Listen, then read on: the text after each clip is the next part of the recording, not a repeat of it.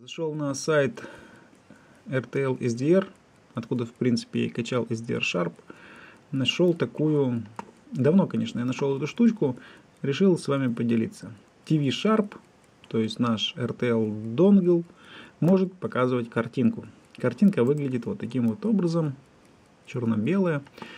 Ну вот, ради расширения кругозора написал программку, игрушку для приема аналогового ТВ-вещания на донгл, взяв за основу ADSB. Я не знаю, что это такое. Не ожидал, что люди заинтересуются программкой, но она оказалась востребованной и интересной для радиолюбителей. Основные возможности показывает только черно-белое изображение без звука, максимальное разрешение около 100 линий по горизонтали и 580 по вертикали.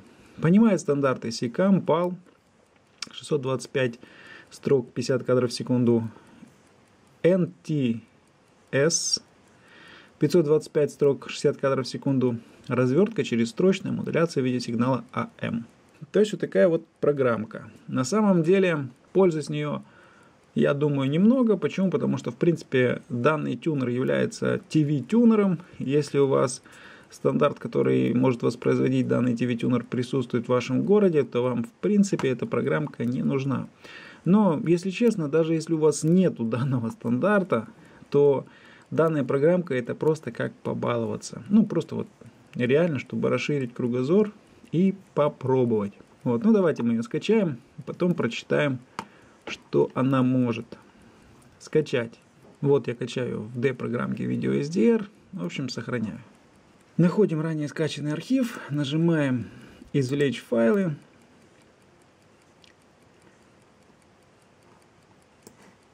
Кстати, сейчас вот с док-станции реально так удобно.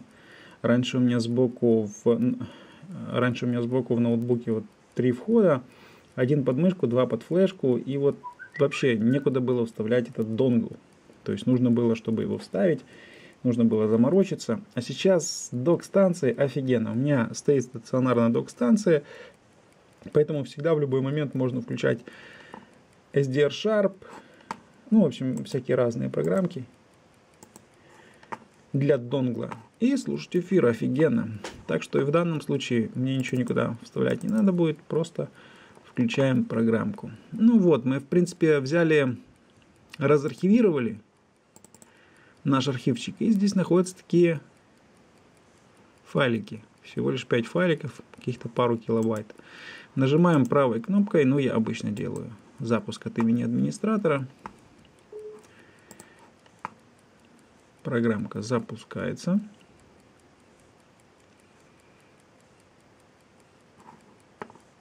У меня два монитора, поэтому она запускается на другой монитор. Ну и вот как она выглядит. В принципе, очень похоже с тем, что показано на сайте. На сайте как она выглядит. Вот как она здесь выглядит. Да, в принципе, то же самое. Выбора нету. Донгл 1. Дальше. Палсикам. Палсикам. Ну, пускай будет палсикам. Не знаю точно, какой здесь параметр выбирать. Ну, пусть этот будет. Галочки. Ну, давайте оставим все как есть. И ничего добавлять пока не будем. Просто посмотрим, что у нас получится из этого. Так, вот у нас окно.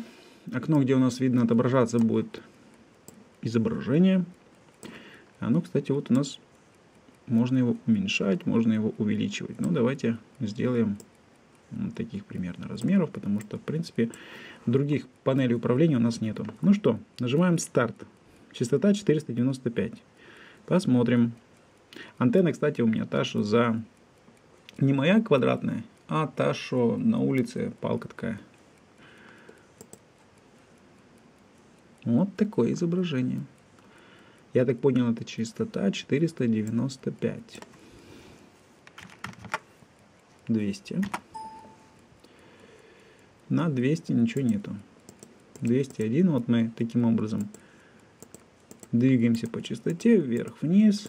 Ну и давайте посмотрим, найдем ли мы что-то и как оно будет показывать. Ну вот, в принципе, 480 7. 487 какое-то даже явное изображение видно. Программ АГС. Ага. AGS, ну вот это, наверное, ага, вот это программ, галочка. Переключение видов ARU. Если сигнал входит в ограничение от избыточного усиления, к надписи Tuner Gain, Tuner Gain, ну вот, наверное, добавляется слово overload, перегрузка. Где-то слово overload добавляется. Ну, то есть, когда мы куда-то двигаемся по частоте, в этот момент, я так понял, подстраивается вот эта вот штука, усиление. Ага, вот, видите, перегрузка. Прикольно.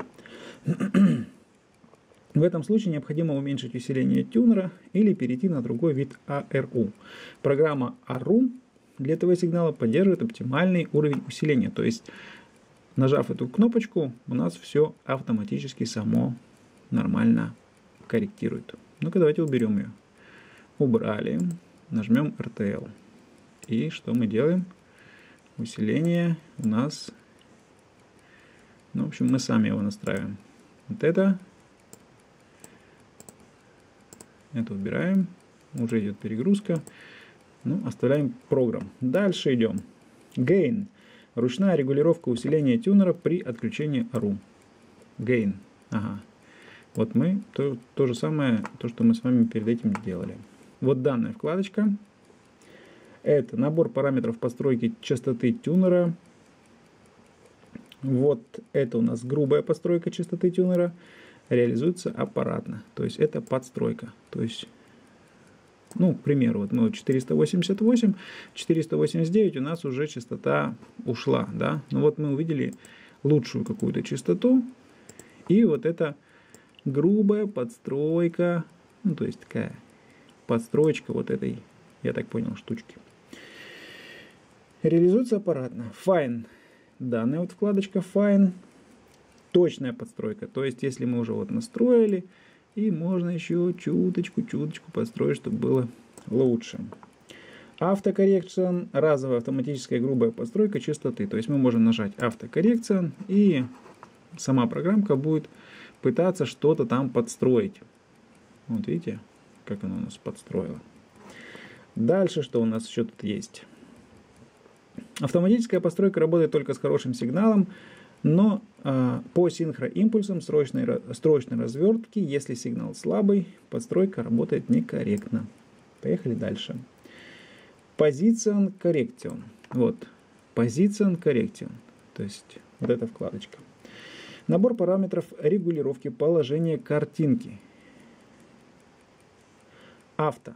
То, что у нас сейчас включено, включение автоматической синхронизации по синхроимпульсам строчной э, кадровой развертки X и Y, ручная регулировка положения картинки при отключенной автоматической синхронизации. Стабильность частоты телевизионных передатчиков и RTL-тюнера позволяет принимать очень слабый телевизионный сигнал без синхронизации по кадровым и строчным синхроимпульсам с ручной подстройкой положения картинки и коррекции частоты. Конечно, с частотным и динамическим диапазоном RTL-тюнеров полноценный прием ТВ-сигналов невозможен и много требовать от этой программы не стоит. Ну, в принципе, я согласен. Опять же, чтобы попробовать, потестить, я думаю, интересно. Вот ось Y – ось X. И, кстати, и, кстати, смотрите, еще изображение видно только двоится. Если нажимаем авто, картинка начинает дергаться. Вот инверсия. О, смотрите, вообще четко поймали. Какой-то канал. TED. TED канал. Ну-ка. Даже что-то видно. Смотрите. Я его поправляю, он куда-то едет. Смотрите, я поправляю, он едет и едет. Вот, блин.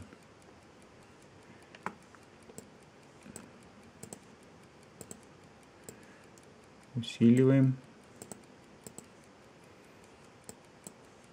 Тюнер. Автокоррекция.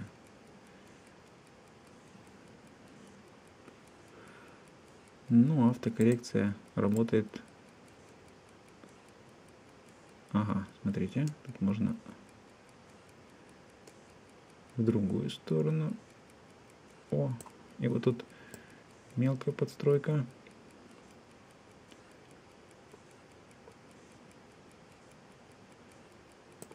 Так.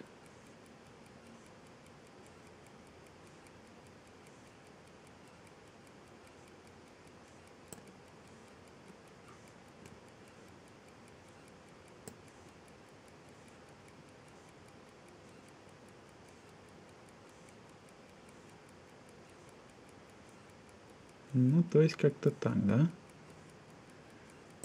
Вот.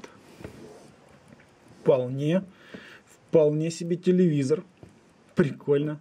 То есть на досуге с двумя SDR вполне можно что-то наклацать. Прикольно. Ну, давайте еще что посмотрим. Так.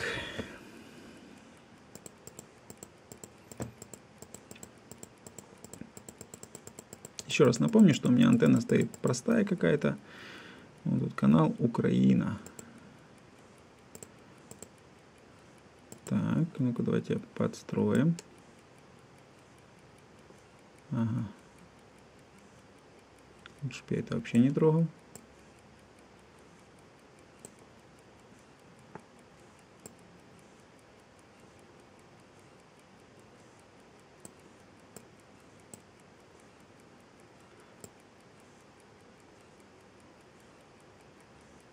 Вот так, теперь вот так. То есть, смотрите, мы что-то еще настроили с вами. Так, а, и вот это, а, вот так. Круто? Не, еще не все, еще. Давайте вот, вот так вот. О, ну вообще, четко. Идеальная картинка. Видно, что кто-то танцует, кто-то что-то поет. Круто. Дальше посмотрим, что-то может еще поймаем. Может какую-то четкую картинку. Вот еще что-то поймали. Ну, в общем, хорошо ее не видно, но и фиг с ней.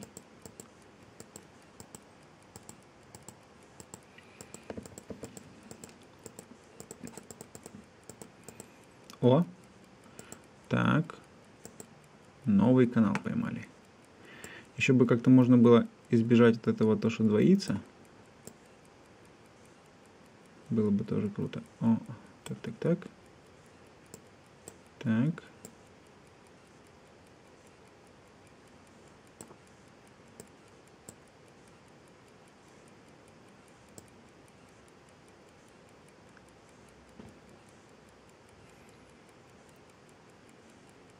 Ну, давай скорей. Так. Вот.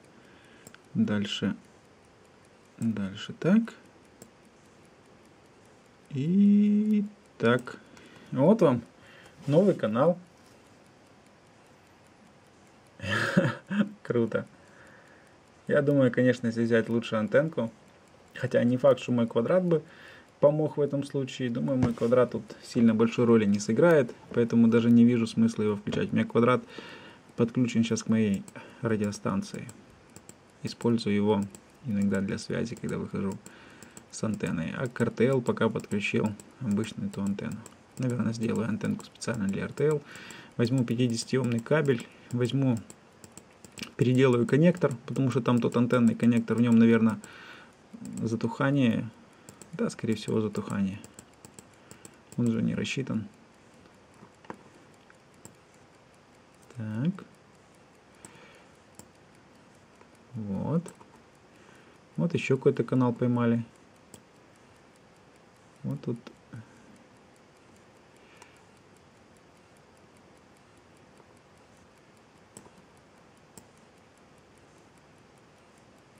Мелкая постройка. Вот вам еще одно видеоизображение. Что-то э, Тонис. Канал Тонис поймали. Дальше что тут у нас еще есть.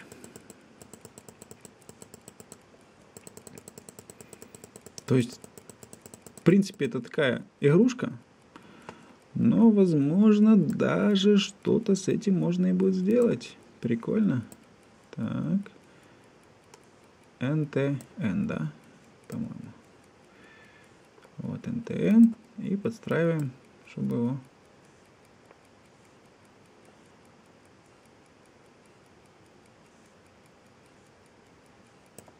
Так.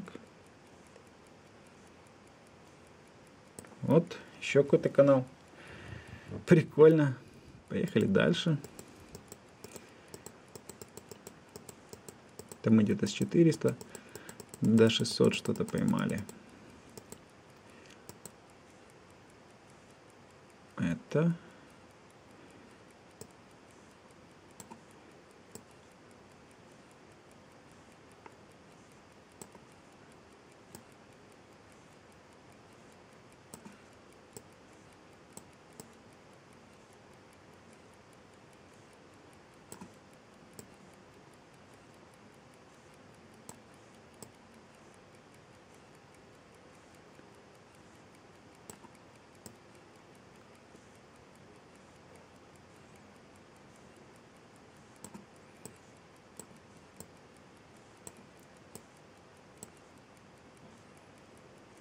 О, ну вот. Так. И так. Еще какой-то канал поймали. Дальше.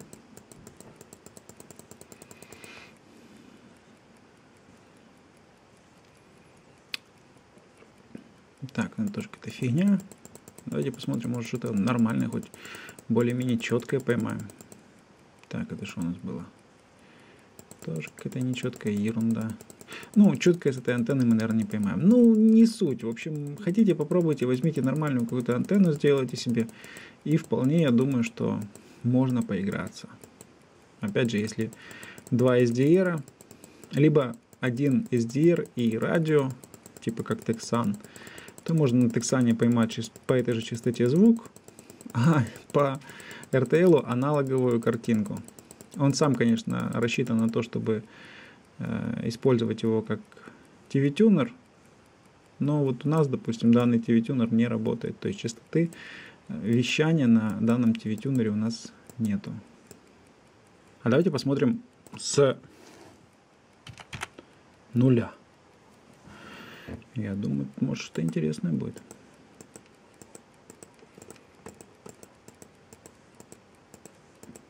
Может, конечно, вообще ничего не будет.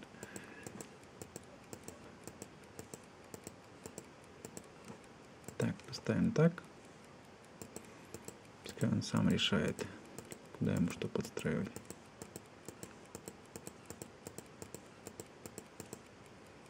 Что у нас тут? О, вот у нас на 78 мегагерц что-то есть. Убана, убана.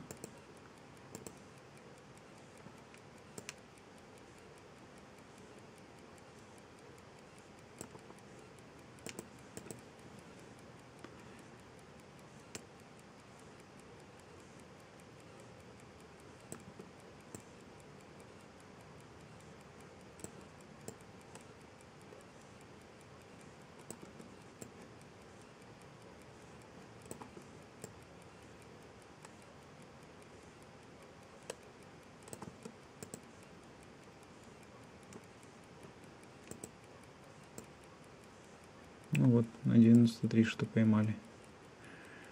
Что только непонятно.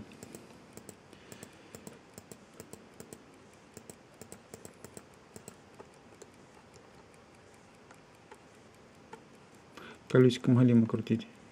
Он сразу перескакивает.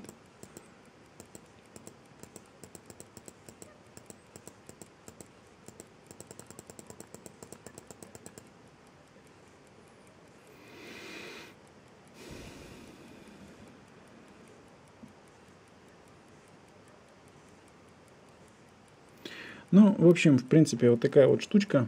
О, что-то было.